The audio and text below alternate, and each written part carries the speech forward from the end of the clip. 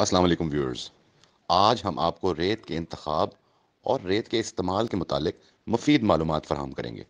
Video देखने से पहले हमारे चैनल को सब्सक्राइब करें, हमारे पेज को लाइक करें और बेल आइकॉन पर क्लिक करना ना भूलिएगा।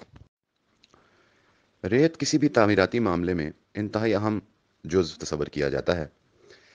रेत अपनी मॉइस्चर कंटेनिंग प्रॉपर्टीज़ की वजह से एक अहम बॉन्डिंग का जुज़ है।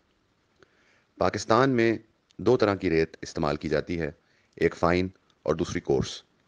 फ़ाइन यानी बिल्कुल बारीक, छोटे ज़र्रे वाली रेत, और कोर्स ज़रा कदरे बड़े ज़र्रे वाली रेत होती है।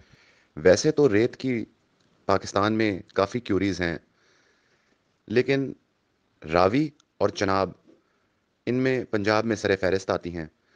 रावी और चनाब दोनों की फ़ाइन रेत होती है।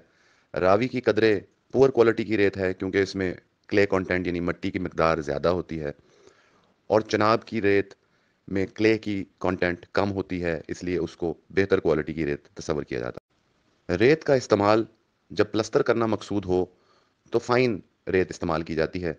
इसमें आप रावी और चनाब दोनों इस्तेमाल कर सकते हैं। और अगर कंक्रीटिंग करना मकसूद हो तो कोर्स सैंड इस्तेमाल की जाती है। कोर्स सैंड चनाब से भी अवेलेबल है और लॉरेंसपुर से भी आती है।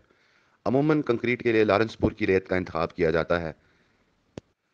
रेत की क्वालिटी का इसार इसकी क्ले के कंटेंट पर होता है।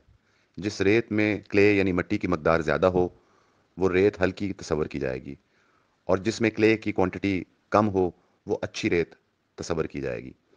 रेत को चेक करने के लिए थोड़ी सी रेत किसी शीशे के बर्तन में डालें और उसमें पानी मिक्स करें। अच्छी तरह उसको हिलाएँ और उस बर्तन को थोड़ी देर के लिए छोड़ दें।